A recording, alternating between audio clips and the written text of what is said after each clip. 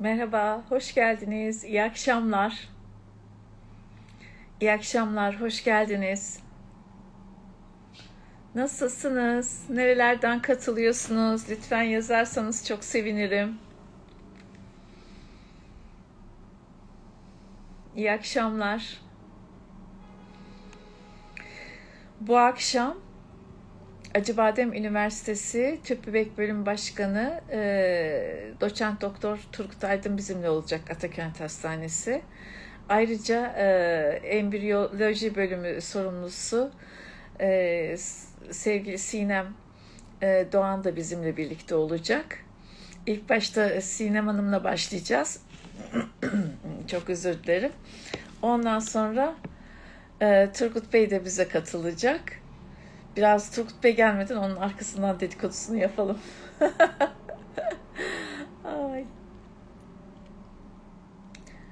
Hemen bakıyorum tüp bebek laboratuvarı diye alacağım.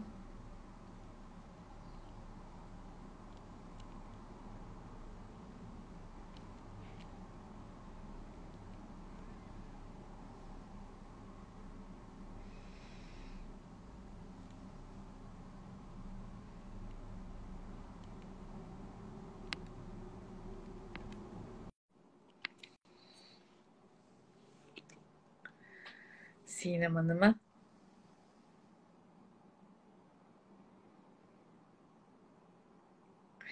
Biz e, tüp bebek çekilişi yapmıyoruz. Canlı yayınlarımızda böyle bir şeyimiz yok. Ama zaten e, tedavilerde bütün hastalara indirim imkanı sağlıyoruz. Ön görüşme muayene ücretsiz. Merhaba Sinem Hanım. Merhabalar. İyiyim Sibel Hanım. Teşekkür ederim. Siz nasılsınız? Ben de çok iyiyim. Çok teşekkürler. Ne güzel oldu sizi gördük. Evet, aynen. Uzun Siz de her zamanki gibi çok güzel enerjiyle böyle geldiğiniz ekranımızda. Aa, teşekkür ederim. Böyle gençlik, güzellik her şey var. Güzel bir kız Teşekkür hanım görelim.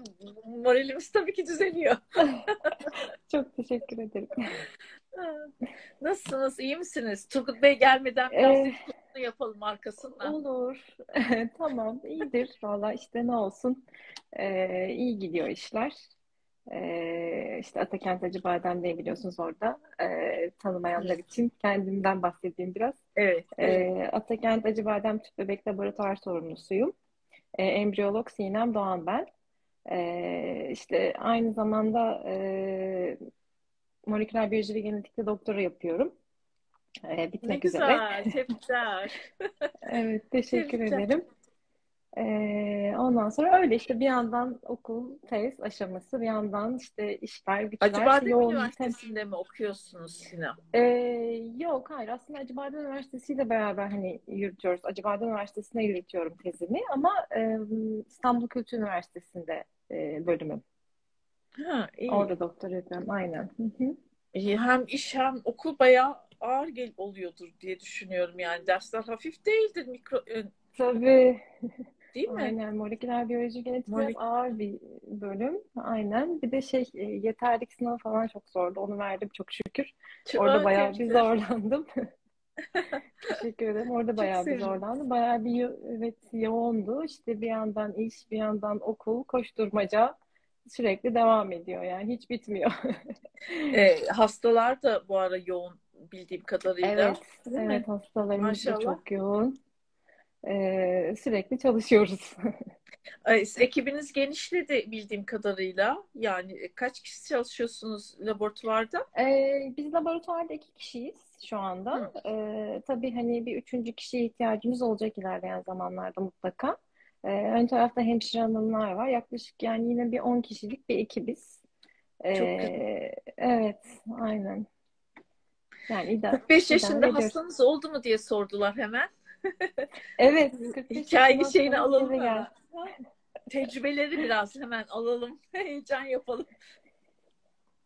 Ee, yani şöyle tabii 40 yaşından sonra biliyorsunuz hani gebelik oranı e, düşüyor. Hani e, biz özellikle biliyorsunuz 43 yaşından sonra %1 ila %2 ihtimalle veriyoruz ama hani 45 yaşında bir hastamızın gebe gelmesi bizim için çok güzel bir sürpriz oldu aslında öyle diyelim.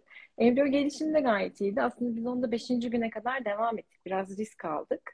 e, hani yumurta sayısı e, belirli değil. Yani bir ya da ikiydi yanlış hatırlamıyorsam. Ama beşinci güne kadar laboratuvarda bekletip hani embriyonun kaliteli olduğundan emin olmak istedik. E, ondan sonra transfer yaptık. Ve güzel de haber aldık gerçekten de.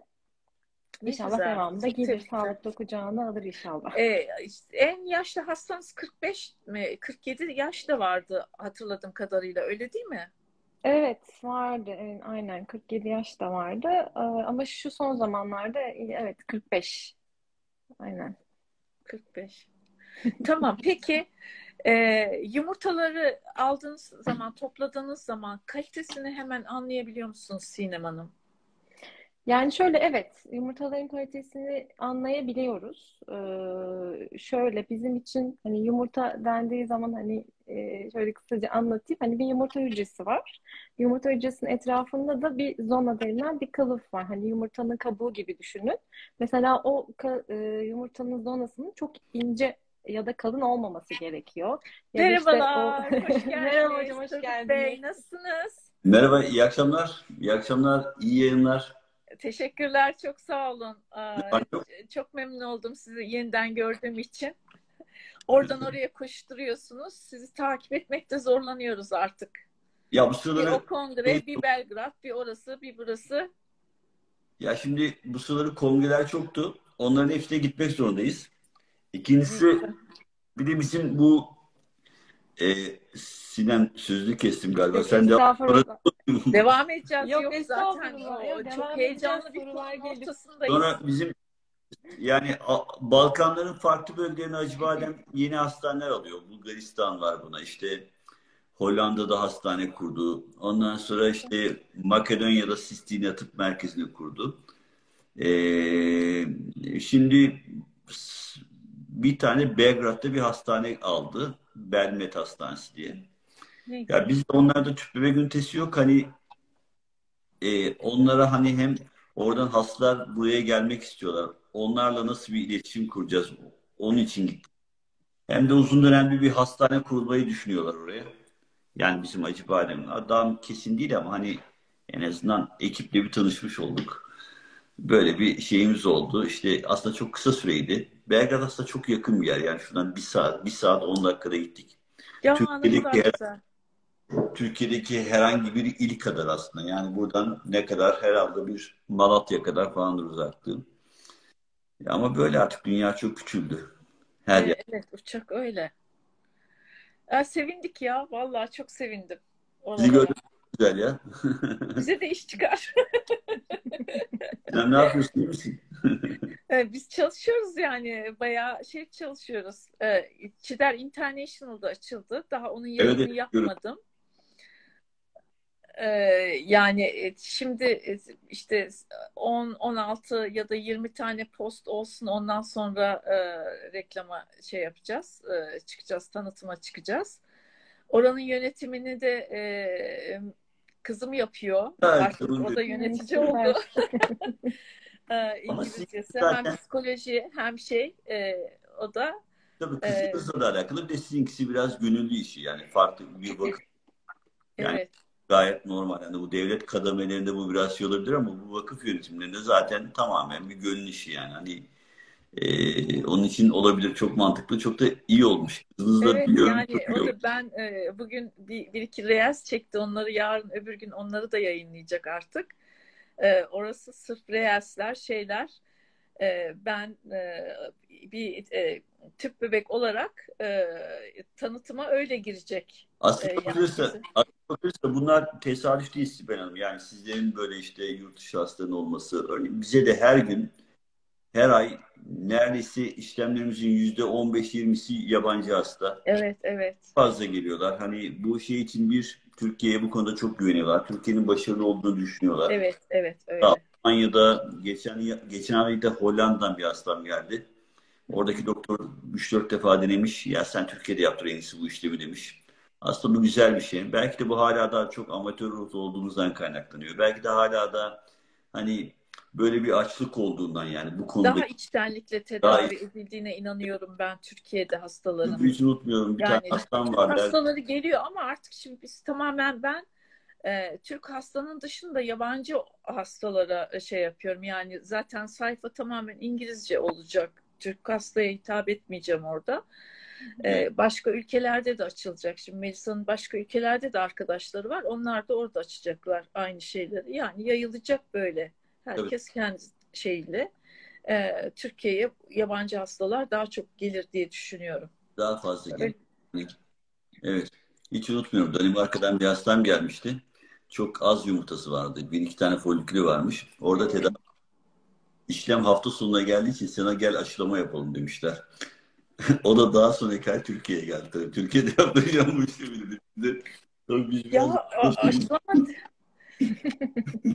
Hayret bir şey. Aşılama dediniz de bir şey şimdi çok ilginç bir şey aklıma geldi. Sinema'nın e, sorumu da unutmadım. Yani Yok, benim için çok önemli. Çünkü e, bir hasta biraz önce şey yaptı. Dedi ki e, ben e, e, tüp bebek tedavisi e, rap, şey tüp bebek raporu için başvurdum. Benim tüplerim yok. E, yani tüplerim kapalı.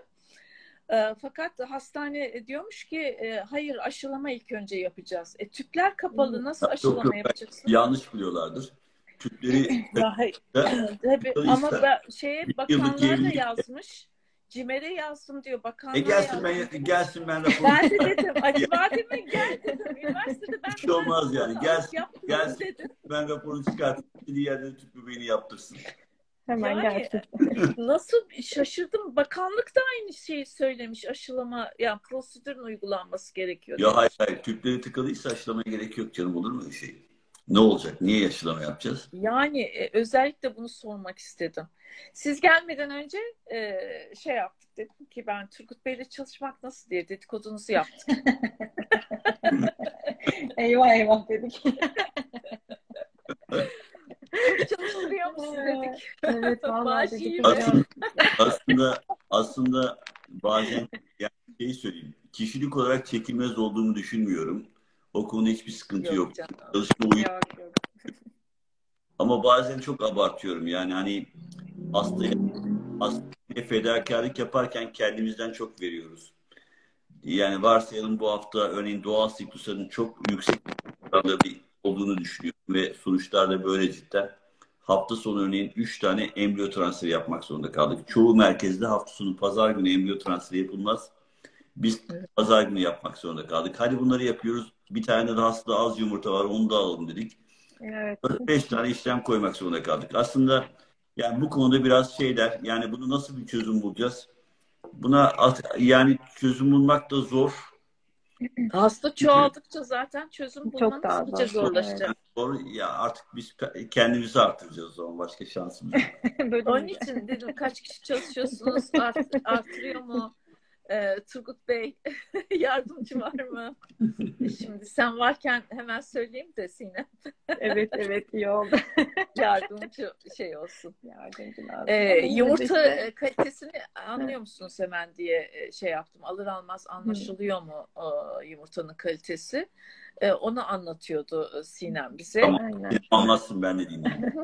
Yani yumurta topladığımız zaman tabii anlaşılıyor yumurtanın kalitesi. Hani direkt e, yani şöyle zaten e, hocamız da söylüyor. Folikül büyüklüklerine göre bile aslında anlaşılıyor da. Yani işte Turgut Hoca oradan diyor bu yumurta işte olgun çıkacak ya da çıkmayacak falan diye. Hani folikül büyüklüklerinden bile anlaşılıyor. Ama asıl anlaşılan kısmı şey, e, biz laboratuvarda yumurtayı topladıktan sonra bir süre bekletiyoruz. Beklettikten sonra hücreleri var yumurtanın etrafındaki kümulus denilen hücreleri e, evet. validasyon işlemiyle soyuyoruz. O işlemden sonra asıl e, yumurta hücresinin kalitesi belli oluyor. E, tabii e, daha böyle yumurtanın şeffaf görünür olması lazım. O e, bahsettiğim dış kılıfının çok kalın olmaması gerekiyor. İşte granülasyon dediğimiz yapılar oluyor. Böyle hani şeffaf görünüm değil, daha koyu görünümlü bir e, yumurta hücresi oluyor. O zaman hani ikinci kalite bir hücre diyoruz. E, ya da işte o kabuğuyla işte yumurta hücresinin arasındaki boşluğa perivitelin aralık diyoruz biz. O aralık daha genişse işte e, diyoruz ki bu daha ikinci kalite bir embriyo. Onların tabii sınıflandırılması çok hmm. ayrı, e, incelenmesi gereken bir konu. Tabii ki de belli oluyor ama asıl bizim için önemli olan hani yumurtanın ve spermin birleşiminden oluşan embriyo. Asıl embriyo kalitesi. E, çünkü e, ilk 3 güne kadar yumurta kalitesiyle devam ederken 3. günden sonra sperm de devreye girdiği için hani onu kompanse edebiliyor. E, asıl e, bizim için önemli olan bir e, embriyonun 5. güne kadar devam ediyor olması.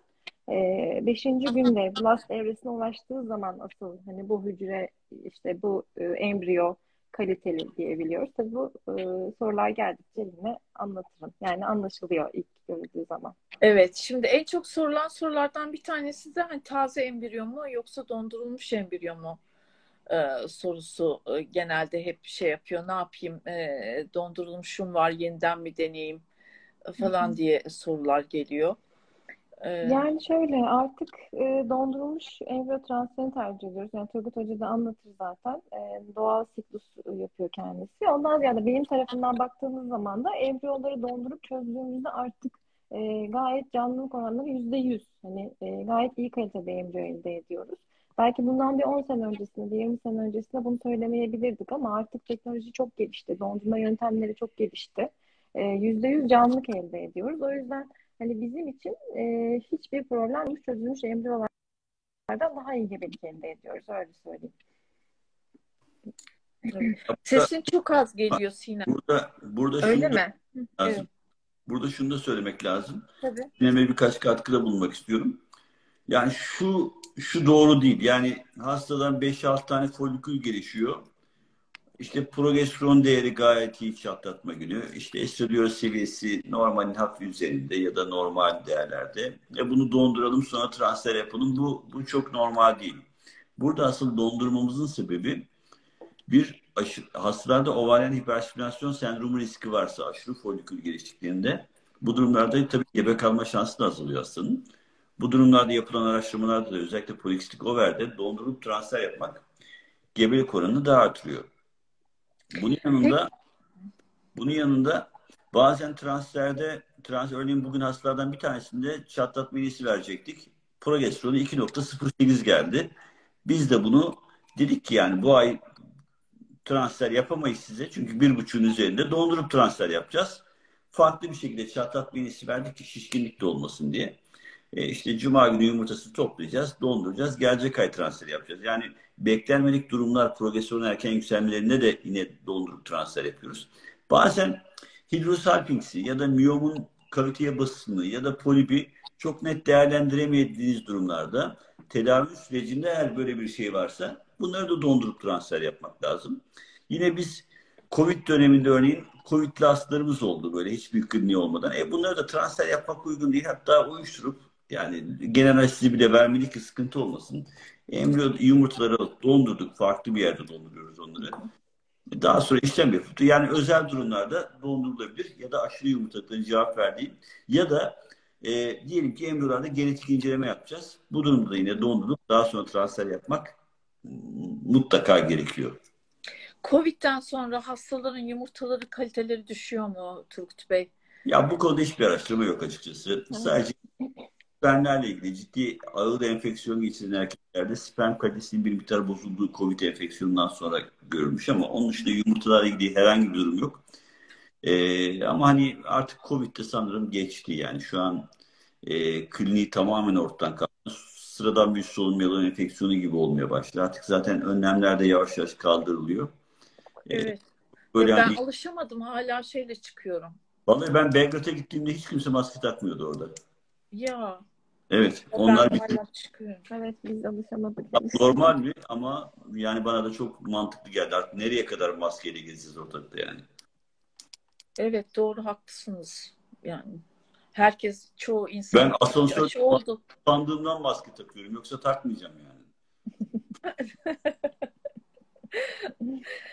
e, peki e, embriyoların e, Progesteron neden yükseliyor mesela siz ani bir şey oldu dediniz. Progesteron acaba hani e, yumurta kalitesinden mi, kadının yaşından mı? Durup dururken niye böyle bir şey yükselir de? Ben size bir şey anlatacağım. Progesteron normalde değeri madem bunu sordunuz. Adet döneminde ya da aslında bizim adet kanamasında kadın progesteron çekilme kanaması olur. Progesteron düşer, bir kanama olur. Daha sonra işte bir yumurta gelişir 7, 8, 10 günde 15 günde yumurta çatlar, progesteron tekrar yükselir ve embriyoyu çocuğu tutmak için hazırlar. Progesteron erken yükseldiğinde özellikle taze sikluslarda bu sefer embriyo ile endometrium arasında bir uyumsuzluk. Yani progesteron erken yükseldiği için yumurta da toplamadığımız için endometrium daha yaşlı olur. Diyelim ki endometrium 8 hmm. günlük, embriyo eğer 5 günlükse ya da endometrium 6 günlük, 7 günlük eğer embriyo 5 günlükse bu sefer birbirlerini tanımadıkları için gebelik şansı azalacak ya da imkansız hale gelecek. Ama biz daha ilginç bir şey gördük. Biz şimdi doğmuş embriyo transferlerinde son zamanlarda doğal siklus yaparken acaba bu progesteron eğrisi nasıl gidiyor diye hem hastalara daha iyi informasyon vermek için hem de böyle bir 4-5 günlük progesteron seviyesini aldık. Ya hiç ummadığımız şeylerle karşılaştık. Bunu da burada paylaşıyorum. Hatta bunun çalışmasını da bitirdim. Evet ya şimdi çok merak yani, ettim ben ya. Çok ilginç geldi bana. Progesteron örneğin normalde 0.4-0.5 olması lazımken bir bakıyoruz ki adetin ortalarında, adetin 5. günü, 3. günü progesteron 1, 1.0, 1.1. E bir bakıyoruz ki bunlar zaten gebe kalamayan hastalar. Aslında spermleri normal, her şeyleri normal. Sonra biz bunlara steroid vererek progesteronu düşürüyoruz ve çok rahat gebe kalıyorlar. Ve daha sonra böyle kaynakçıları takip ettiğimizde aslında biz bunu tüp bebek çok dikkat etmiyoruz ama normal Akdeniz bölgesinde geç başlangıçta adrenal hiperplazi denilen bu böbrek üstü bezlerinde bir enzim eksikliğine bağlı örneğin %8-10 civarında bir bu oran var. Aslında bu da 10 tüp bebek yaptırmasından bir tanesinde böyle anormal progesteron değerleriyle karşılaşıyoruz. Bu Örneğin çatlatma inisi yaparken 1.2 olarak karşımıza çıkıyor ama bunu aslında 3 gün önce baksalar gene 1.1 olarak karşımıza çıkacak. Aslında bu her ne kadar normal sınırların hafif üzerinde diyoruz ama aslında gebe kalamıyor. Onu düşürdüğümüz anda gebe kalıyor ve bunun da çalışmasını yapacağız uzun dönemde. Yani progesteron tek folikül gelişinde doğal siklusda progesteron baştan beri eğer, eğer yüksekse ara ara aldıklarımızda demek ki bu hastalığı aslında gebe kalamama sebebi bu anormal hormonal değerler. Yani bu da bence yeni yeni tıbba bu bilgiyi de şey yapacağız. iliştireceğiz. Öyle söyleyeyim ben. Ben size bir şey söyleyeceğim. Şimdi siz bunu söylerken birden aklıma geldi benim. 20 sene önce tabii Melisa'ya hamile kalmaya çalışırken eski e, şey kitaplarını okuyordum işte o bitkiselle ilgili kitapları. Benim bütün derdim e, menopoza erken menopoz yaşamaya başlıyorsun dedikleri için menopozu mümkün olduğu kadar geciktirmeye çalışmak için ben bitkiselleri araştırırken ara, gide gide gide böbrek üstü bezlerine gitti. Yani işte hipofiz bezi, evet. böbrek üstü bezi bunların hep dengeli olmaları, hormonların dengesi dengeli olmaları falan diye böbrek üstü bezlerinin dengeli olması için olan bitkileri ben e, hmm. araştırıp bulmuştum. Şimdi bakın 20 sene sonra siz bana böyle bir şey söylesin. Ne kadar ilginç geldi bana bu ya. Hayret bir şey ya. ya. Ya şimdi yani e, arayan aslında, mev, belasını da bulur mevlasını da derler ya öyle bir şey oluyor. İnsanlar aslında bir saat gibi o kadar mükemmel bir şey ritmi var ki yani bu ritmin yani sadece insanın spermi düştüğünde bozulduğunda ya da menopoza girdiğinde ya da işte polikistik over olduğunda o ritim bozulmuyor. Aslında örneğin yani bu, bu çok şeker hastalığı olanlarda da bu ritim bozuluyor ve e, bunlar da daha çok düşüyor. Gebe kalmaları daha zor oluyor. Bazen işte psikiyatrik bir takım hastalıklar olduğunda da bu ritim bozuluyor. E bunun yanında bir takım göremediğimiz bu geç başlangıçta adrenal hiperplazide de, de aslında hormon olarak ritim bozuluyor.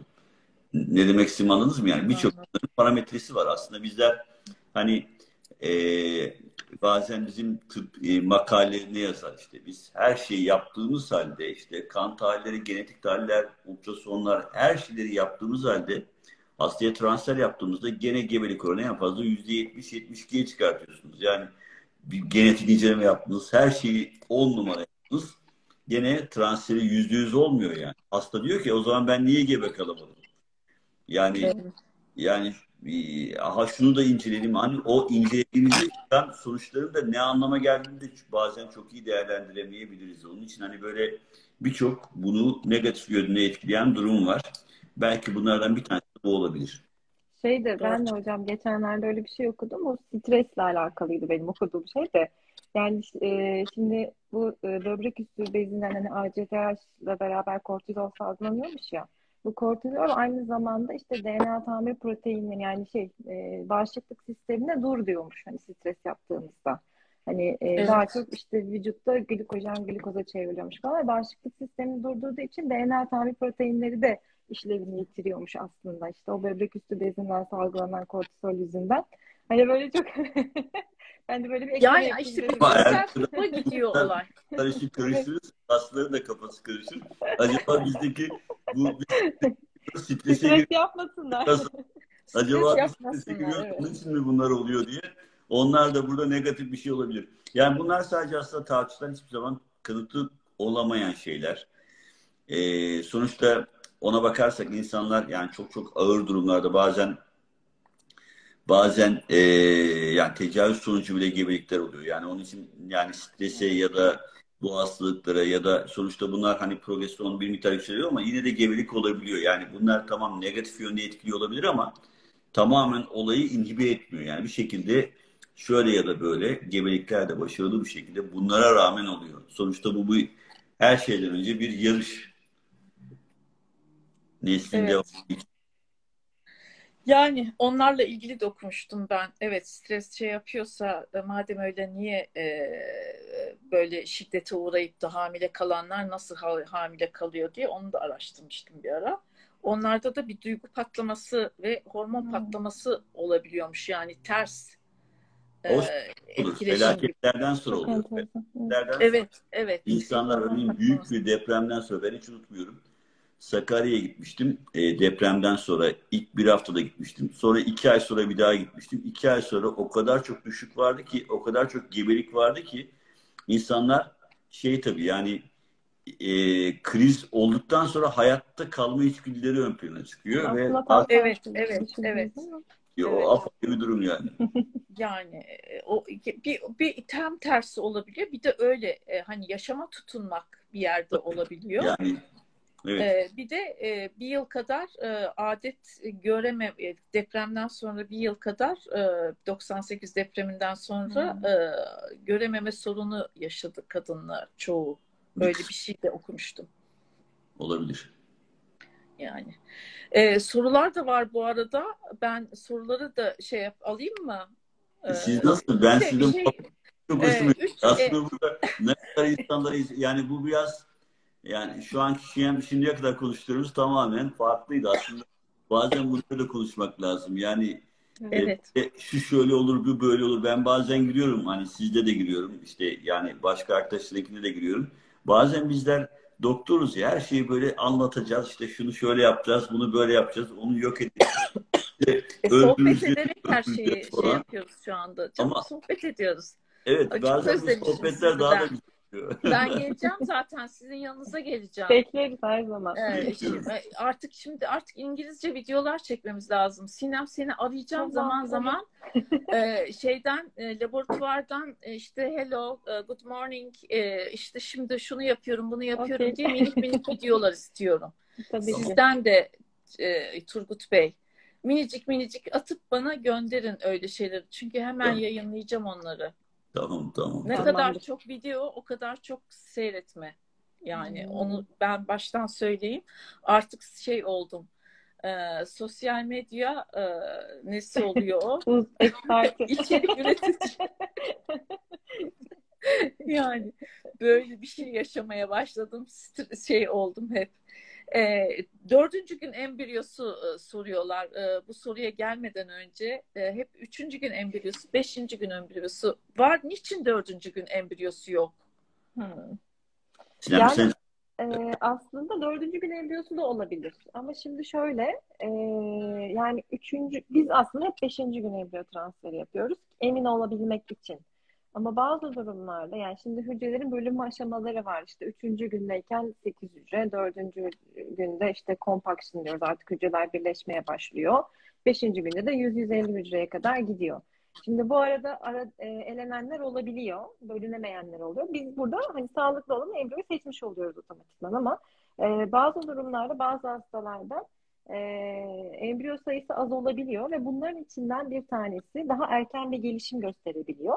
Mesela onu dördüncü günde transfer olabilir eğer rahimle uyumluysa tabii transferi. E, ama Hani biz ondan da emin olmak istiyoruz. Hani dördüncü güne kadar ulaştıysa embriyo neden beşinci günü de görmeyelim ki hani e, daha net bir sonuç alalım diye beşinci güne gitmeyi tercih ediyoruz. Aslında dördüncü gün embriyosu da transfer edilebilir.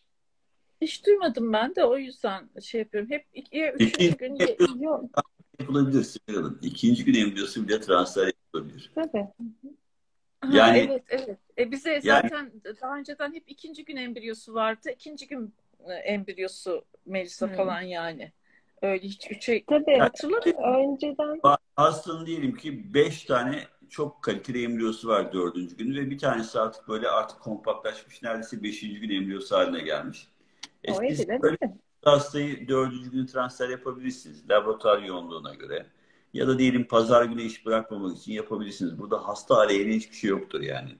Daha sonra da gelip Çok diğer güne gidip de dondurabilirsiniz. Hani orada bazı hastalara dördüncü gün embriyosu verildiğinde buna eksik bir iş yapılmıyor aslında. Hmm. Tabii. Bunun AA ya da BB olması, e, tutup tutmaması konusunda bir etken olabiliyor mu? Ee, aslında Biz AA ya da BB gibi görmüyoruz da o zaman dördüncü günde böyle compaction dediğimiz yani böyle tamamen hücreler birleşiyor.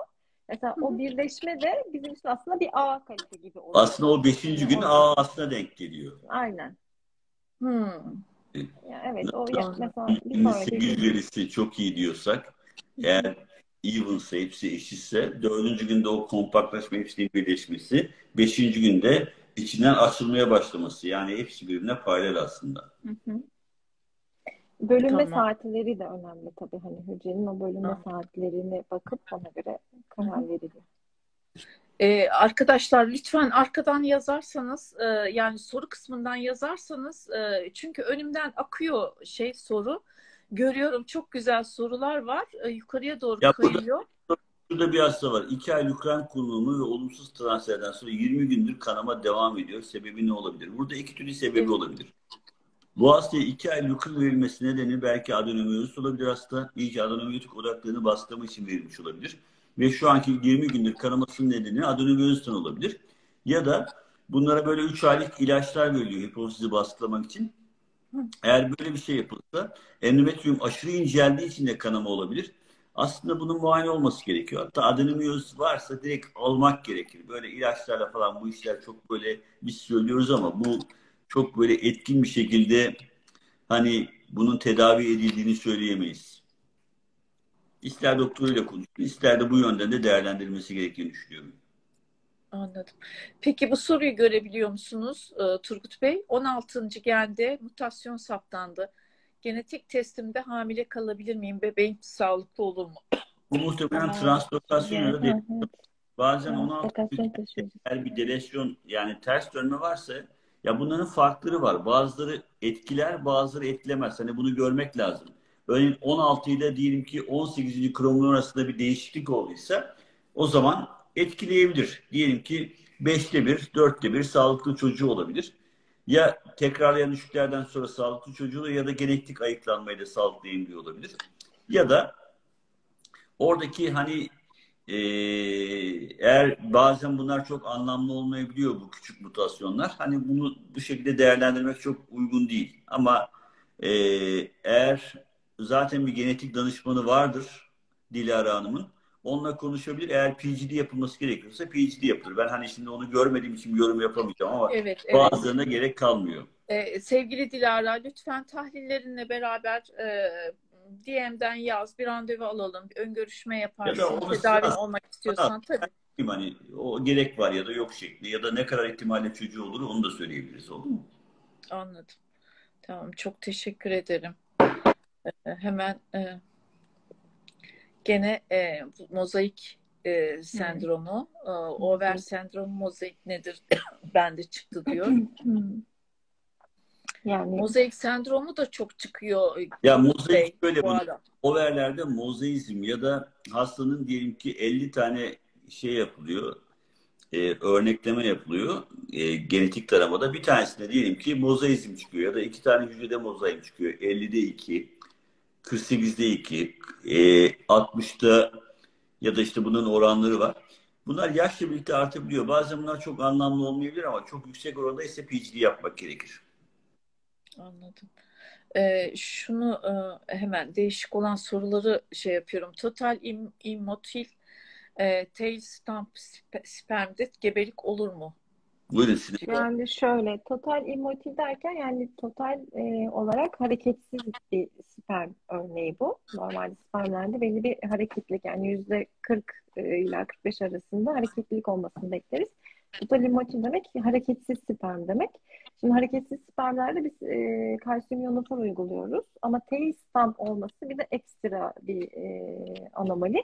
E, tail stump embriyolarda ise e, artık o, o büyük büyütmeli mikroskoplarda IMSI dediğimiz yöntemle bunların arasından tail stump olmayan embriyoları yani normal şey pardon e, spermleri seçmeye çalışıyoruz. Yani sperm başı olan e, daha normal e, olan embriyoyu aralarından seçiyoruz. Bazen yüzde yüz tail stump olmuyor. Aralarından yani normal olma, normale yakın spermler de bulabiliyoruz.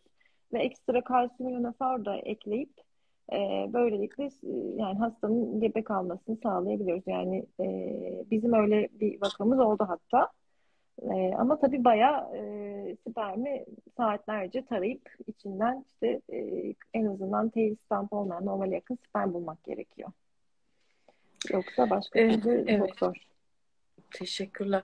Hocamıza daha önce genetik problemli çocuğu olan bir ailenin tekrar aynı duruma maruz kalma ihtimali nedir? Lütfen sorar mısınız demiş. Bu eğer tekken hastalığıysa bunlar eğer resesif ise yani anne baba taşıyıcı olduğu için e, genetik hastalıklı bir çocuk doğduysa tekrar o, bunun %25 tekrar olma ihtimali var. Bazen X'e bağlı geçebilir. Burada hani %50 oranında tekrarlama riski vardır. O genetik mutasyonun tipine bağlı değişir. Ama örneğin Down sendromu da bir genetik hastalıktır. Ee, ama tek gen hastalığı değildir. Bir genin ya da bir kromozomun fazla olmasından kaynaklanan bir hastalıktır. Burada tabii bu oran bu kadar yüksek değildir. %3 oranında tekrarlama ihtimali var. Yani burada hastalığın tipine göre bunu söyleyebiliriz. Hatta bazı e, anomalilerde genetik mutasyon bulunamayabilir bile. E, çocuk sakattır ama bir mutasyon bulunamayabilir bile.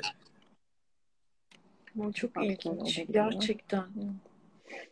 E, Şiddetli erkek faktöründe spermde anomali olma ihtimali nedir diye sormuşlar. Yukarıya doğru kaydı. Şimdi şöyle e, normalde hani sağlıklı bir e, sperm örneğinde 3 anomali sperm bulunur. Hani %3 oranında bir anomali saptanılabilir.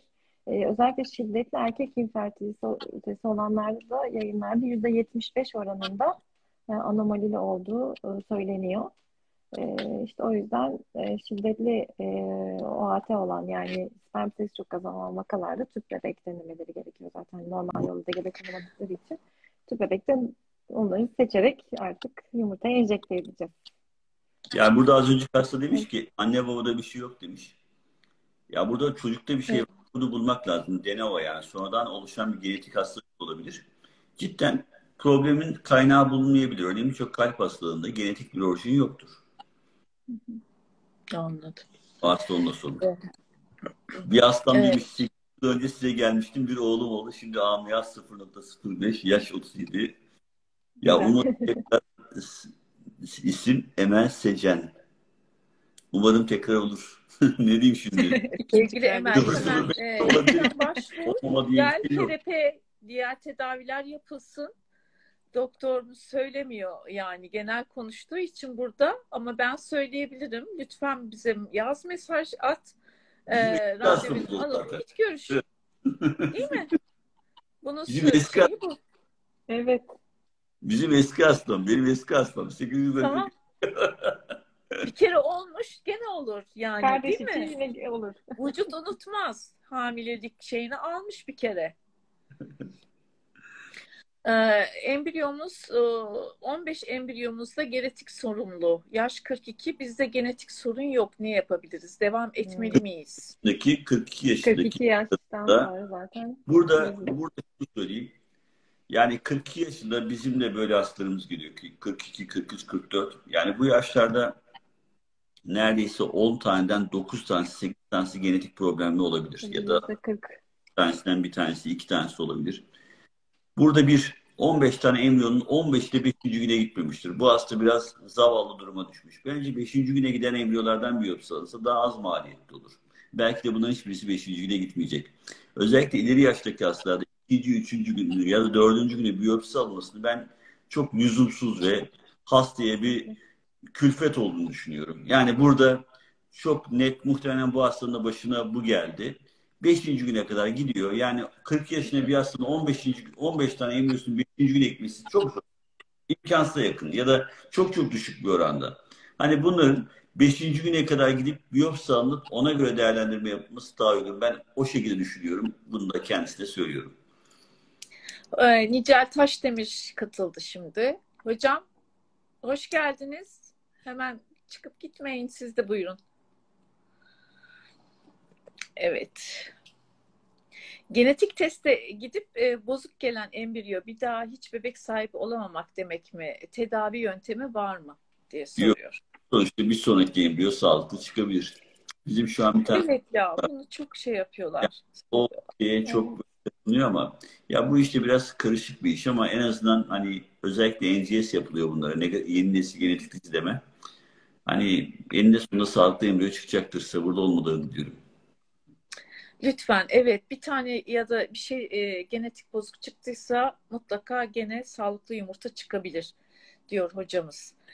E, merhaba şunu hemen alayım ben. E, bir önden bir arkadan şey yapıyorum. Arkada da çok var. Merhaba benim çikolata kistim ve e, rahim arkasında e, miyom var. Transfere e, engel midir miyom yoksa transferden önce ameliyat mı olmam gerekir? Ya burada şu bir kesin ki rahim içine temas eden miyomların büyük, eğer 2 santimetreden ya da 2,5 santimetreden büyükse mutlaka gebeliğe negatif bir etkisi var. Ama bu hepsinde gebeliği negatif etkileyecek ya da gebeliği imkansız kılacak anlamına gelmiyor. Burada bir, endometriyozi olan hastalarda aynı anda adenomiyozit olabilir. Bu adenomiyozismi ve adenomiyozin rahim içinde bir etkisi var mı? Bunun net bir şekilde ayrıştırılması lazım. Örneğin bugün bir hasta geldi bana. Erkekte sperm çok kötü. Tüp bebek yapılmak zorunda. Dur hanımefendi size de bakalım. Bende sadece bir miyom var doktor bey dedi. Sonra bir kurumu uterusun bir yarısında olduğu gibi kaplamış bir adenomiyozis vardı. Yani bazen adenomiyozise miyom tanısı koyulduğu oluyor. Ya da rahim için eğer bası yapan bir miyomsa tabii böyle kritik bir durumda o miyomun alınmasında fayda olabilir. Yani bu çok kompleks ya da bunu işte benim bir tane miyomum varmış onu al, alalım. Yani bu miyom rahimin dışındaysa eğer bunun hiçbir zararı olmayacaktır. Yani burada hastalık vardır. Ha, yani hasta vardır. Bir hastalık ve onun sonucuna göre yani konuşmak, şimdi durumuna göre konuşmak lazım. Turgut Bey aslında durum çok vahim. Baksanıza yani tüpleri olmayan bir kadına sen aşılama yapman gerekiyor diyen evet. bir e, ama, şey var ortada. Ama yok. Onu şimdi e, bazı, örneğin son yönetmelik yaptı bir tane SGK. Orada da eskiden 1 milyon, 2 milyon spermlere biz rapor çıkartıyorduk. Şimdi onu evet, engelledik. Evet. Açıklama dedi. Yani 3 milyon, 4 milyon spermle insan zaten gebe kalamıyor ki. Yani belki orada bir yorumlamada yani sıkıntı olabilir. Için bir danışma kurulu vardı. IVF kurulu vardı e, bakanlıkta eskiden. Şimdi yok mu bu? Yani ben uzun süre süredir bakanlıkla irtibatım yok. O orada belki, belki bir yanlış anlaşılma olmuştur. Yani tamam gelsin ben raporunu çıkartacağım onu. Yani ne olacak? Evet. E ben çok şaşkınım aslında bunlardan. Şimdi hep nerede yaptırdınız diye sormaya korkuyorum insanlara. Hani şu benim o kadar saçma sapan sorular geliyor ki bazen. Evet ama yani ee, ne diyeceğini bilemiyor insan yani. Hani sperm sayısı neyse de öyle tüpleri olmaya başladı. Biraz değişik geldi. Sonlandırmak evet. hayatta bağdaşmaz. Yani doğsa bile şey olur. Ee, bir gün içinde iki gün içinde ölür çocuk. Allah korusun. Allah korusun. Ee, şimdi dördüncü ve yedinci kromozom. Resiprokal Bunu var. siz okuyabilirsiniz. Evet, bunun bunu şey yap, PGD, denk translokasyon. Sinem sen söyle istersen.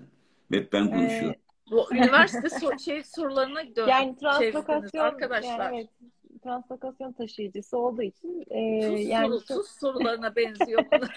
Yani bunun kromozomunda inversiyon ya da trans, yani şey kromozomlarında hani e, olan bir yapışıklık ya da işte fa- e, bir inversiyon dediğimiz durumlar oluyor böyle hastalarda. Hani bunlarda tabii ki şey öneriliyor. P- PGT yani preimplantasyon genetik tanı. E, preimplantasyon PGT-SR denilen yöntem var. Hani translokasyon taşıyıcılığında onları öneriliyor. Hani embriyolara genetik test yapıp ondan sonra işte sağlıklı gelen embriyoyu transfer etmek gerekiyor. Tabii Ya bunlar de gebe kalabilirler belki ama üçte bir sağlık veriliyor çocukta olacak. Üçte ikisi düşük olacaktır. Yani bunu göze alıyorlarsa gebe kalabilirler. Ama göze alamıyorlarsa o zaman tüp bebekle DNA'sını ayrıştırıp ona göre transfer yapmak lazım. Yapmak lazım yani. Anladım.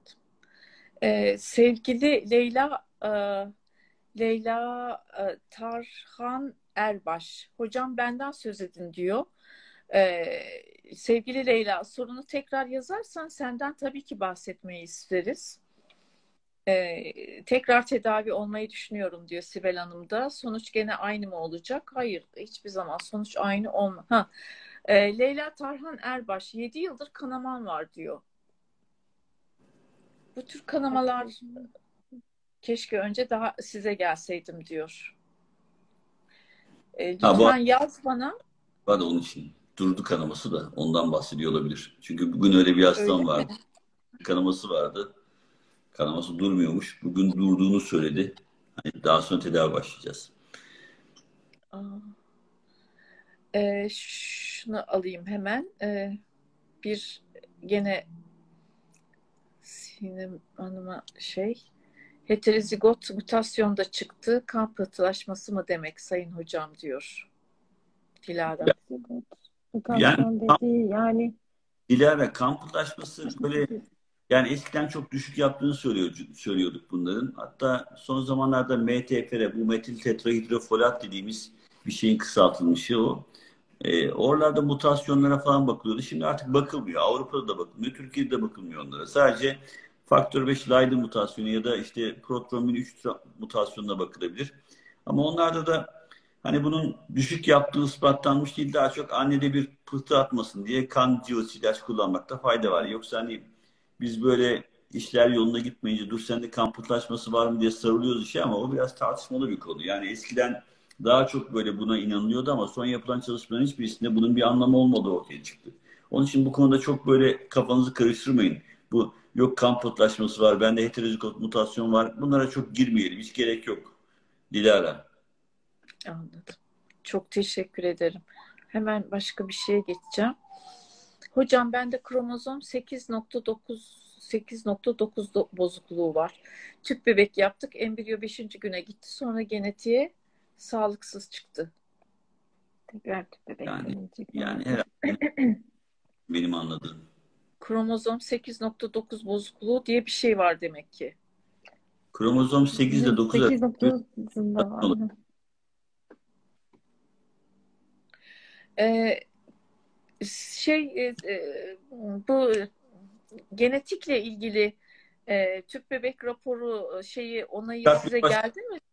geldi geldi çıkartmaya başladık. Ha, Başladınız mı? Ha, Geldi. iyi yani onun duyurusunu falan yapmayalım mı? Yapabilirsiniz. Geldi artık yani şey e, yani bir miktar katkı alınıyor. E, şekilde işlem yapılıyor. Raporda çıkartabiliyoruz. Ee, Bunun için e, genetik hastalığı, SMA hastalığına mı yalnız SMA. oluyor bu? E, düşen müsküler distrofi hepsi yani birçok şeyde yapılabiliyor artık. Hı hı. bu. Onun, o zaman listesini ben sizin arkadaşlardan alayım. Zaten bu Ona göre yani e, değil de hani şey bu zaten Sağlık Bakanlığı'nda var bunlar SGK'da. Hepsini karşılayamıyor ama 15-20 tane hastalığı karşılıyor. Onlara rapor çıkartabiliyoruz. Tamam çok güzel. Yani onu bek bekliyorlardı. Ee, cevap bekleyen hastalar var çünkü onunla. Bir de e, Turner sen- sen- sendromun var. E, tedavi yöntemi var mı? Nasıl ilerliyor diye soruyorlar. Turner sendromunda sendromu- da yine preimplantasyon genetik tanı. Yani varsa eğer. Turner sendromusun. Yaşın kaç bilmiyorum ama eğer adet görüyorsan bir önce yumurta doldurmak lazım. Çünkü menopoza girer ya da hiç, hiç adet görmez. Direkt devam eder. Bunun bir tedavisi yok. Bu tür durumlarda mümkünse eğer donabiliyorsa yumurta dondurmak lazım. Çok erken yaşlarda. Tanı koyulur koyulmaz adolesine girdiğinde. Anladım. Ee, Turkuç Hocam, e, erkekten varikosel gebeliği engeller mi? Daha önce üç düşüğüm oldu. İki, ilki üç aylık kalbi durdu. Diğer ikisi tüp bebek denemesi. Ya bunların varikosel Sonucu biyokimsa, e, biyokimyasal gebelik oldu diyor. Yani 3-4 defa gebelik olduğuna göre burada varikosel düşük yapmaz onu söyleyeyim. Varikoselin aslında infertiliteye neden olduğu da çok tartışmalıdır. Daha çok çok erken yaşlarda varikosel eğer tespit ediyorsa ameliyat, ameliyat yapılmasından hastalar fayda görebilir.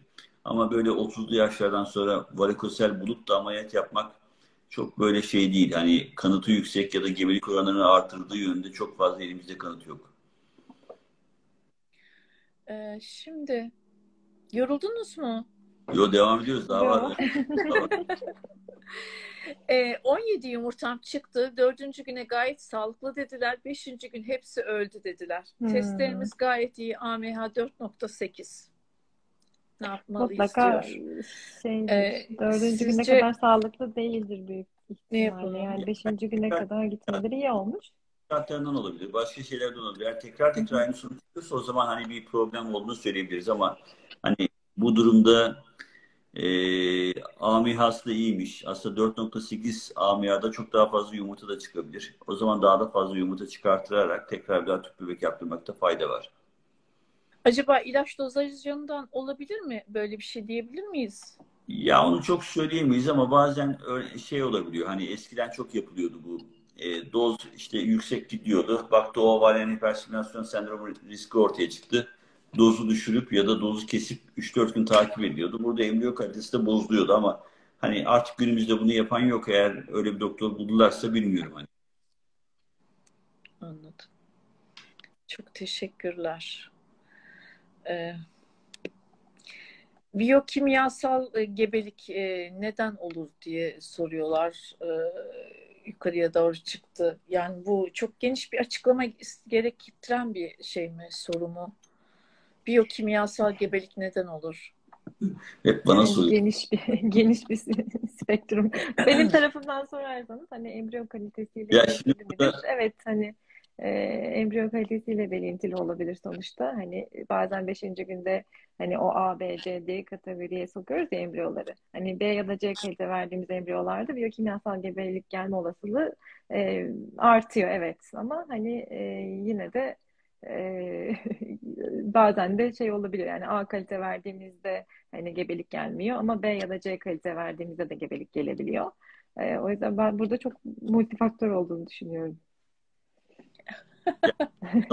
Bir e, 5BB kalitesinde dondurulmuş embriyo çözülünce genetik incelemede kalite düşer mi? Yani, yani şöyle e, bu embriyoloğun deneyimiyle de alakalı bir durum bence. Hmm. E, evet yani orada tecrübe konuşuyor şimdi burada. Evet. ya embriyo yani embriyoloğun deneyimi çok önemli gerçekten. Biyopsi esnasında embriyoya zarar vermeden parça alması gerekir e, embriyoyu dejenere etmeden eğer parça alıp onu dondurursa hiçbir şekilde zarar görmez embriyo. Yani o yüzden hani biyopsi zarar verir mi diye çok soruyor hastalarımız zaten. Evet, ee, yani evet. herkes merak ediyor bunu. Tabii yani, yani normal orası burası olarak. kurcalanıyor gibi geliyor insanlara. Hı hı. Ee, Ama şimdi şöyle bir şey var. Biz beşinci güne gidip yapıyoruz ya genelde e, bu genetik testleri. Orada beşinci gündeyken yaklaşık 150 hücreye ulaşıyor embriyo. E, öyle 150 hücreye ulaşınca hani trofoktodermden aldığımız hani birkaç tane hücre embriyoya zarar vermiyor. Zaten o kendini yeniliyor ve tekrardan bölünmeye başlıyor. Ama tabii üçüncü günde 8 hücreyken yaparsanız dejenere etme ihtimaliniz daha fazla. Yani o yüzden beşinci günde e, embriyo biyopsisi Bilinçli ellerde olması gerek yani. Evet. Tabii. Ee, sağ tüpümde sıvı dolduğundan bağlandı. Sol tüpüm açık ama doğal yolla ne kadar sürede olur? Hemen tüp bebek yapayım mı? Yapalım mı diye soruyorlar. Ya burada eğer sperm değerleri normalse diğer tüp açıksa e, tabii bir yıl beklemek lazım. Eğer bir yıl içinde olmuyorsa tekrar infertilite yönden eğer over rezervi ise bir yıl kadar bekleyebilir. Yoksa eğer over rezervi kötüyse yaşı e, yüksekse o hani çok fazla çok daha kısa sürede beklemesinde fayda var. e, tüberis kleros tanısı konulmuştu. Düşükler oldu. Sağlıklı gebelik olur mu? Olabilir, Bir yok. sağlıklı oğlum var. Olabilir, olabilir. Tamam. Aa. Evet, sevgili Pınar, e, olabilirmiş. Lütfen e, eğer tedavi olmak istiyorsan bize başvurabilirsin. E, şöyle yukarıdan. Ozi tekniğiyle tüp bebek yapıp çocuk sahibi olma oranlarında bir artış oldu mu? Aslında bir artış olmadı da. Bazen bu tür şeyleri şeyden dolaptan çıkartıp işte piyasaya sürülüyor, sürülüyor ama böyle Rose Evet, var. dünyada sağlıklı çocuk kaç tane doğdu denilse herhalde yok galiba. Yani bilmiyorum yani. Doğdu falan diyorlar hocam ama tabii o rozinin ne kadar roze olduğu da tartışılır. Yani, Yani ki e, sperm bulup onu Rosie'den buldum. E, gebe kalırsa o zaman ama Rose tekniği gerçek anlamda Rose tekniği ise o zaman çok böyle şey olmaması lazım. Yani bulunan sperm bu Rosie'den bulduk deyip de normal sperm yaparsan ve herkes bunu Rosie bilirse o zaman Rosie Aynen. olur. Ama Ya eğer işte tabii. Ya biz TESE'de iyi az sayıda TESE'de bazen yani bu testis biyopsilerini alıp biz parçalıyoruz. Orada birkaç tane çok nadir sperm ya da sperme benzer yapıları enjekte ediyoruz. Biz o zaman sperm çıktı diyoruz ama sperme benzer yapılar bulup Rose uyguladık ve hani siz gebe kaldınız mı diyebilirsiniz. Ya da bizim gibi hani biz spermi gördük evet sperme benzer bir yapı gördük ve hani bir enjeksiyon yaptık ve o şekilde gebe kaldınız mı diyebilirsiniz yani. Ya o yüzden biraz Peki, fiyat artıyor mu Rosie'de? Tüp bebeğin dışında. Rosie'de artıyor mu? artıyordur mutlaka. Onun için Rosie ile bulmuşlardır Ay. diye düşünüyorum şimdi. Neyse ben karıştırmayayım fazla. Ee, iyi akşamlar hocam. Bir ay önce Ankara'dan tüp bebek için yumurtalı genetik merkezine gönderdiler. Bir buçuk ay sonra sonuç iyi çıkmadı. Ha, ikinci denemede genetik iyi çıkma olasılığı ne olur diye soruyor. Ya Onu bu- zaten buna benzer bir şey cevaplamıştım. Yani hani bunu şimdi şu kadar oran demek çok zor. Yaş, bir translokasyon taşıyıcılığı var mı yok mu? İşte her şey bunu etkiler. Yani 45 yaşındaki bir kadında 20 tane embriyo göndersiniz. Bir tane sağlıklı çıkma ihtimali varken 30 yaşındaki bir kadında iki embriyodan bir tane sağlıklı çıkar. Evet. Ya hocam embriyo kaçıncı gün yerleşir? Rahime bugün üçüncü günümdeyim. Transfer sonrası ne yapmak lazım tutunmak için? Bunu çok sarıyor. Hocam sizin e, Sizin e, bu bulduğunuz bir- transferden sonra ne yapılmalı de, e, diye bir şeyiniz vardı. O 100 bine yakın izlenmişti. Video yapmıştık. Bir de HCG hala en fazla e, HCG'niz ne kadar şeyine her hala acayip şey geliyor. Nasıl bir reyting yaptık onunla? en popüler Aldı başı sorular. götürüyor yani o şey video. Burada şöyle söyleyeyim yani ya burada e, yatak istirahatı çok tartışılıyor. Siz örneğin o yayının başında eğer takip edenler dinlediyse vücut diyor bir sıkıntıya girdiğinde gebe olmamaya programlanıyor. Ani ani şok durumlarında. Yani örneğin ciddi bir şok durumda depremde, selde ya da örneğin doğumu başlatıyor. Yani aslında var olan şeyi tutmamaya çalışıyor. Anlatabiliyor muyum? Yani bir de gebelik yüküyle uğraşmaya çalışıyor. E şimdi şöyle bir şey söyleyelim o zaman. Siz hastaya sırt üstü yatın dediniz. Bu bir işkence aslında yani sırt üstü yatırmak. Hastanın bağırsak sistemleri bozuluyor. Başka şeyler oluyor. Acaba bu insan evde rahat bir şekilde dolaşsa, gezse, dışarıda dolaşsa daha mı rahat gebe kalır? Yoksa sürekli yatsa mı? Şu bir kesin. Sonuçta bir embriyonun molekül ağırlığı ya da embriyo ağırlığı böyle sıfıra yakın ve rahim içinde yer çekimiyle düşecek bir şey değil. Çünkü rahim onu tutmaya programlanmış. Yaratıcı onu öyle yapmış.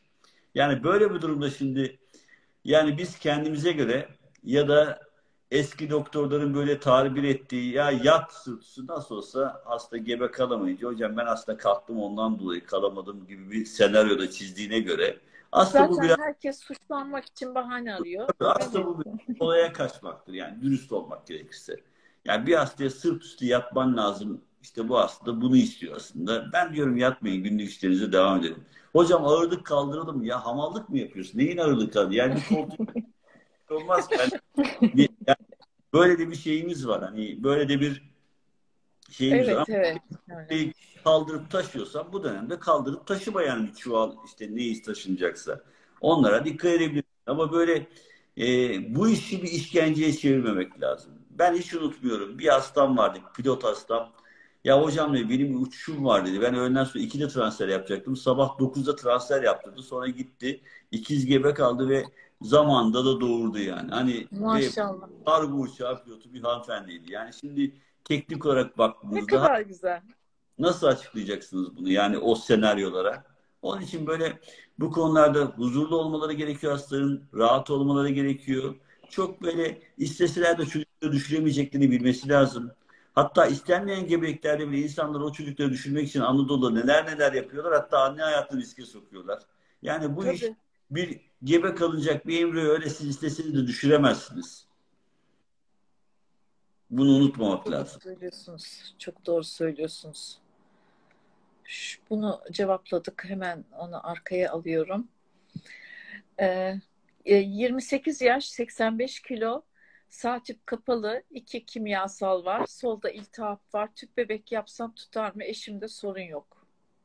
İltihap nasıl görülmüş ya? Eğer iltihapsa hidrosalpinx de vardır. Bence bunu iyi irdelemek lazım. Yani böyle biz ultrason yaparak sende iltihap var dersin yalan söylüyordur yani. Ama Evet, ama burada hani tüp kapalı ve hidrosalpinx varsa ve kimyasalların sebebi de buysa o zaman o tübün alınması lazım. evet. E, lütfen bana yazar mısın arkadaşım? Ee, bunu konuşalım. Neredesin? Ee, randevu alalım. Görüş mutlaka. Yani öyle e, olmaz. Şimdi 39 yaşındayım e, ve 40 yaşımda birer gebelik oluştu. 8 haftalık kalp durması ile küretaj oldum. Kürtaj materyali genetiğe gönderildi. İkisi de sağlıklıydı. Şimdi yeni tedavide 42 yaşındayım. Genetik yaptırmalı mıyım sizce diye soruyorum. Burada şu olabiliyor. Tu, e, Biko, Biko. Yani bunlar sağlıklıydı. Kız mıydı erkek miydi? Muhtemelen kız çıkmıştır. Bazen düşük yapıldığında ya da o kürtaj karıştırılırken rahim içindeki alınan parçalar rahim dokusundan alırsa annenin DNA'sı gelebilir. Annenin DNA'sı geldiğinde de sağlıklı çıkacaktır. Ya da diğer türlü de bunlar genellikle periferik kanda yani periferik bir çalışma yapılıyor. Fiş yöntemiyle yapılıyor. Fiş yöntemiyle 3 ya da 4 tane ancak genetik hastalığı. Diğerlerine bakılamadığı için eee diğerlerine bakılamadığı için hani burada bir yorum yapmak uygun değil. Yani 3 ya da 4 tane trizomi 21 daha şey trizomi 13, trizomi 18'e bakıldıysa ya da Turner'a bakıldıysa o zaman hani onlar çıkmadı diye hiçbir şey çıkmayacak anlamına gelmez. Bunlarda array CGS yöntemiyle bakmak lazım. Daha farklı bakmak lazım. Bazen de söylediğim gibi kürtaj yaparken anne rahmi kürete edilirken oradan alınan parçalar da incelenebilir ve genellikle kız çıkar bunlardan. Evet. Çok teşekkürler. Ee, Pizza Edu e, var. Ee, Süleyman Bey sizde tedavi gördü. Polikistik verdi eşi. Şimdi bebeği bekliyorlar. Son iki ayımız kaldı diye şey yapmış. Yazmış. Evet, e, Turgut Hocam tedavide destek sundu e, diyor. Beş sene sonunda çocuk bekliyoruz. E, çok teşekkür ederim sevgili Süleyman Bey. Yazdığın Ya- için çok mutlu oldum. E, aynı zamanda Melisa'nın da e, yurt dışı eğitim e, koçu e, Süleyman Aa, Bey. E, İtalyancası harika. Onun seninle de irtibat kuracağım sevgili Süleyman. Hı. Evet. İkiz tüp bebek siz ayarlayabiliyor musunuz diye güzel bir magazin sorusu var. İkiz tüp bebek evet. Ee, yani Yaşa bağlı olarak. yani yaparsak ikiz olma ihtimali %25'tir. 35'ten sonra değil mi? Yani Tabii. ekranlarda 35 yaş ve üzerinde iki tane transfer yapılabilir. Ee, peki üçüncü gün dört hücreli embriyonu tutma olasılığı nedir? 40 yaşındayım diye soruyor bir arkadaş. Üçüncü güne dört hücreli bir embriyon tutma olasılığı düşük bir ihtimal. Yani normalde üçüncü günde sekiz hücre olmasını bekleriz. Yani 4 hücre ise eğer bir yavaşlama söz konusu. O büyük ihtimalle 5. güne devam etmeyecek bir embriyoydu. Ee, yani tutum olası düşük bir embriyoymuş. Öyle Yavaş söyleyeyim. gelişen embriyoların e, tutunma olasılığı var mıdır? Ben hep böyle yavaş gelişiyor. İşte e, o- o- 12. gün e, 40 çıkmıyor da 25 çıkıyor. 3 gün sonra 40 çıkıyor mesela. Hı. Bunlar gerçekten sağlıklı embriyolar mı? Şöyle Sizce? diyebiliriz. Yani e, yavaş gelişiyor derken şimdi e, mesela üçüncü günde bu embriyo 4 hücre ise işte dördüncü günde 8 oldu. Beşinci günde kompaktlaşmaya başladı. Altıncı günde yine blast oldu. Bu yavaş gelişen bir embriyodur. Ama sonuçta bir e, hücreye bölünmüş ve sayısını arttırmış. Tabii ki bunun Yani gebe kalma bir bebek doğuyor gene olabilir. Olabilir, Hmm, evet. güzel. Ama tabii hasta hem 40 yaşın üzerinde hem 4 hücrede kalmış hem de 3. günde bir tane olduğu için hani bunda olasılık düşük. Olmama ihtimali yok tabii ki var ama düşük ihtimalle. Bizim için önemli olan şu. Yani mesela hücre 4. günde hala yine 4 hücre ise o embriyo artık bölünmesini durdurmuş. O artık hani arrest olmuş. Hani o yüzden hastaya transfer etmememiz gerekiyor anlamına geliyor. Hani yavaş gelişimle hani embriyo gelişimi durması arasında çok fark var. Ee, hani tabii ki gelişmeye devam eden bir embriyo ise gebe kalma ihtimali de var demek oluyor Ben- aslında. Tamam. İlginç. Ya Buyurun. e, bundan 7 yıl önce, 6 yıl önce falan bir hastam var. E, aslında hastaya ben bir kardeşimle tüp bebek ben yapmıştım. Canlı doğum oldu. Daha sonra işte aslında kendisi doktor. Böyle işte onda da bir baktık. Onda da erken menopoz var. Hem de çok kötü overleri. Yani çok çok Hmm.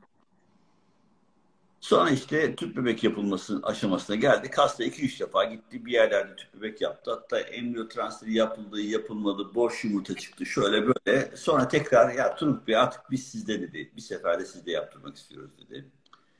Sonra neyse ve artık adet göremez hale gelmiş bir hastaydı. Hiç unutmuyorum. 34 yaşında ya da 33 yaşındaydı. Adet göremez hale geldi. Yani ben haftada bir bakıyorum folikül yok. Bir hafta sonra bakıyorum gene folikül yok. 40. günde falan bir tane folikül gördük. Folikülü aldık. Ondan sonra olgun yumurta çıktı. Ondan sonra işte X yaptık, döllendi. Ya öyle bir şey ki şimdi. Üçüncü günü dört hücreli oldu. Ondan sonra dördüncü güne bakalım dedik. Dördüncü günde sekiz hücreli oldu. Yani üçüncü gün gibi oldu. Ama cam Evet. duruyor böyle. O kadar güzel ki. Devam edin. Devam ediyor ama yavaş devam ediyor yani şey olarak ama embriyo böyle birinci kalite yani. Kalitesi birinci kalite ama yavaş gelişiyor. Maşallah. Sonra dedik bunu transfer yapalım falan. Bir yapalım. Ya dedim ya ben sana aslında hani bu yavaş gelişiyor. Bir sıkıntı olabilir. Normalde üçüncü gün işte biraz sıkıntılı. Ne yapsak? Biz sana bunu transfer yapalım. Sonuçta sana doğru düzgün transfer yapılamadı. Neyse transfer yaptık ve canlı bir çocuk dünyaya, sağlıklı bir çocuk dünyaya geldi. Yani Maşallah ya. Evet olabilir. bu bu bu bu şeylerde yani bu şeylerde Sinem çok doğru söyledi. Embriyonun durmuş olması iki gün üst üste aynı şekilde duruyorsa ve artık o hücrelerde lizis başlıyorsa bu iş bitmiştir. Ama eğer devam ediyorsa transfer yapılabilir. Evet. Hasta 6. gün neden bekleniyor? Evet bu da olabilir. Bazen yavaş gelişir embriyo. 5. günlük embriyo haline 6. gün. Az önce nasıl 3. günlük embriyo haline 4. günü geldiyse 5. günlük embriyo haline 6. gün gelmiş olabilir. Gelmiş. 6. gün transfer yapabilirsiniz. Ama gebelik oranınız %20-24 yapılan araştırmalarda. Eğer doldur daha sonra 5. gün embriyosu gibi transfer yaparsanız bu Daha sefer oranları %40'lara %45'lere çıkıyor. Yani bu apayrı bir durum. Yani buradaki artık yavaşlaması direkt embriyo ile ilgili bir kusur olmayabilir. Embriyoda ciddi ezim olabilir. Anormal hücreler bertaraf oluyordur. Sağlıklı hücreler artıyordur. Ve sağlıklı bir çocuk dünyaya geliyordur. Yani bundan aslında çok böyle Ya kendi içinde bir savaş var yani Tabii, tabii. e tabii yani örneğin Aa e, iyi. mozaizmde yani sonuçta anormal hücreler vardır. Anormal hücre mutasyonunda o bölünme esnasında. Onlar sonuçta sağlıklı bir organizmaya dönüşme, dönüşemeyeceği için onlar yavaşlayacaktır ya da ölecektir. Sağlıklı organizmaya giden sağlıklı programlanmış hücreler sağlıklı bir çocuk dünyaya gelecek, getireceklerdir. Nasıl 16 hücreli bir eğer ikiye bölüp 8-8 olup da tek yumurta ikizi oluş diye geliyorsa, oluşturuyorsa böyle bir gerçek de var. Bunun yanında sizin söylediğiniz Ya işte değerler düşük. Ya böyle de bir şey var ya maalesef. Yani e, kimyasal gebelik genelde diyoruz. İşte embriyo tutulmuş, anne rahmine sargılanmış. Biz bunu diyelim ki 12. günde ya da 10. günde, 10. günde test yaptırdık. Sonuç geldi 50. İki gün sonra bir daha yapıyoruz. Acaba bir yükseklik düşüyor mu? Ya da aşağıdan yukarı mı çıkıyor? Anlatabiliyor muyum? Onu değerlendirmek için. Eğer düşüyorsa zaten abort yapıyor. Kimyasal gebelik. Eğer yükseliyorsa da takip etmek lazım. Bazen sağlıklı gebeliğe dönüşebilir. Bazen ektopik gebelik olabilir. Bazen de düşük olabilir. Dış gebelik olduğu zaman e, hemen alınması mı gerekiyor? Beklemesi mi gerekiyor? Yok, beklenmesi mi gerekiyor? Traktat kullanılabilir. Yani ilaçla da bunlar kurutulabilir. Bazen de bazen de eğer kanama varsa işte kitlenin büyüklüğü belirli boyutlardaysa o zaman ameliyatta alınmasında fayda var Sibel Hanım. Anladım. Peki, çok teşekkürler. Şimdi şöyle bir şey var. Ee, 27 yaşındayım. 3 tüp bebek başarısızlığım oldu. OPU'da iki yumurta çıkıyor. 5. güne gidiyor. AMH de- değerim 0.98. Normalde hamile kalabilir miyim diye soruyor. Üç Ben- tane tüp bebek de başarısız olduysa Ya 27 yaş çok genç. İki yumurta bile Evet. kalsa bir çıksa gebelik şansı var sakın bırakmasın. AMA'da 0.98 ya yanlış ya da tedavilerde bir problem var. Yani bu kadar anormallik olmaz. 0.98 0.1 demek. Böyle bir AMA yani 1 demektir pardon 1 demektir. evet. Yani 10-12 tane yumurta çıkması lazım ya da 8-12 tane yumurta çıkması lazım. Burada bir terslik var. Aa, Ama Hı hı. bir şekilde pasta yumurta çıkıyorsa gebe kalma şansı hala daha vardır. Beşinci güne de gidiyormuş embriyolar zaten. Evet. Evet, lütfen Şevket Bey, lütfen Gerek- irtibat kurum Gerek dondurup transfer yapsınlar. Bazen erken lüteizi olan yumurtalar vardır. Erken çatlıyordur. O da endometrium reseptivitesini bozuyor olabilir Sibel Hanım. Evet, teşekkürler. Emrah Karan, 6AA'dan selamlar. 5 aylık oldu, büyüyor paşa, Ama- diyor. Biliyoruz Emrah Karan. Selamlar. Evet 6AA güzel bir embriyo verdik hocam. Hatırlarsanız hani virtual azo. Ee, 6AA hem de. hatırladınız mı Emrah? Evet. Doğrudur. Emrah tamam tamam. Başka yerlere gitmişler. Hani bunlar hep teste önerilmiş. Ondan sonra da sperm çıkmaz demişler. Sonra bize geldiler. İşte biz onlardan böyle sperm örneği aldık, topladık falan. Ondan sonra öyle e, toplayaraktan havuz yaptık. Ve tek tek seçerek hani yumurtayla birleştirdik ve e, hatta sonradan sayı da arttı aslında kullandığı ilaçlardan. E, o yüzden hani güzel embriyo da gelişti. Sağlıklı bir bebek dünyaya geldi. Çok da tatlı kendisi. Maşallah, maşallah. Allah sağlıkla büyütmeyi nasip etsin. Sevda, Ee, Sevda, bu sperm sağlık için yeterlidir. Tüp bebek için yeterlidir. Mikro enjeksiyon mi? %10 ileri hareket. yeterlidir tüp bebek için. Çok güzel. Daha sormadan cevapladı hocamız. Şimdi, Hazır buldum orada şimdi. Ben soruları göremiyorum. Ama- hocam rahim filmimde sol tüpüm şiş çıktı. İki kere transfer oldum tutmadı. Şişik tüplerden sebep mi transferim tutmadı. Ameliyat olmalı mıyım? Ya eğer tüpten şiş oluyorsa ve karın içine geçiş varsa yani o bazen sakülasyon olur ve rahim şeyden tüpten içeriye geçirir. Böyle bir durumda ameliyata gerek yok. Ama eğer ucu tıkalıysa ve bir sucuk gibi şişiyorsa o zaman ameliyat olması lazım. Yani bunu şimdi hani görmeden bir yorum yapmam uygun değil. Ya çok geçmiş olsun. Lütfen bu tür şeylerinizi bana yazın. Ee, randevu alalım. Ee, gidip görüşün. Şimdi e, şöyle bir soru var. Bu ismosel bize çok fazla gelmeye başladı. Hocam iki se- e, sefer sezeryan doğum yaptın. Bir kere de açık ismosel ameliyat oldu. Fakat yeniden ismosel olmuş. Ne yapabilirim? Üç kere tüp bebek tedavisi oldu fakat gebelik olmadı. Yani bu durumda şey yapılabilir. E, e, taze siktuslarda bazen aşırı östrojen yüksekliğine bağlı rahim içinde fazla bir şekilde ismoselden sıvı salınabilir. Eğer mümkünse doğal siktus transfer yaptırmasında fayda olabilir. Yani bunlarda bu tür durumlarda fayda olabilir. Çünkü bu ne, başarısının nedeni biz e, ismoselden olup olmadığını bilmiyoruz açıkçası. Net olarak. O zaman en en fazla riski düşürüp ona göre bu işlemi yapmak lazım. Anladım. E, 40 yaşındayım. 3 kez tutunma olmadı. 7 kez genetikten olumsuz sonuç geldi. Bu normal bir olay mı? Rezervin rezervim az ne yapılabilir diye sormuşlar. 40 yaşındaysa biraz da genetik yaptırmadan transfer yaptırsın. Yani nacizane önereyim yani. Eğer 5. gün evliyorsa gidiyorsa bir de genetik yaptırmadan transfer yapsın. Eğer başka bir sebep yoksa. E, saat 22.15 oldu. E, şey e, yayınım kapanabilir. e, çok teşekkür ediyorum size. Çok çok teşekkür sağ ederiz. olun. Biz de Ağzınıza olun. sağlık. sağ olun. E, gördüğüme çok mutlu oldum. Biz de E, çok mutlu sizi olduk. daha çok e, arayıp şey yapacağım. e, rahatsız edebilirim. Şimdiden özür diliyorum. Her zaman bekleriz tabii ki. Özellikle Önemli bir yarın görüşürüz. Kendinize iyi bakın. her zaman. Gelip video da çekmek istiyorum Tamam. Turgut Bey. Tamam. E, vallahi Ama bana önceden söyle kravat falan takayım. Ya kravata gerek yok. Öyle yeter. Arkadaşlar çok teşekkür ederim hepinize katılımlarınız için, harika sorularınız için de çok teşekkür ediyorum. Gene hep birlikte olmak umuduyla sizi tekrar bekliyoruz ama hakikaten doyamadık. Çok güzel. Kendinize iyi bakın. Görüşürüz. umarım. İyi akşamlar. İyi akşamlar. Hoşçakalın.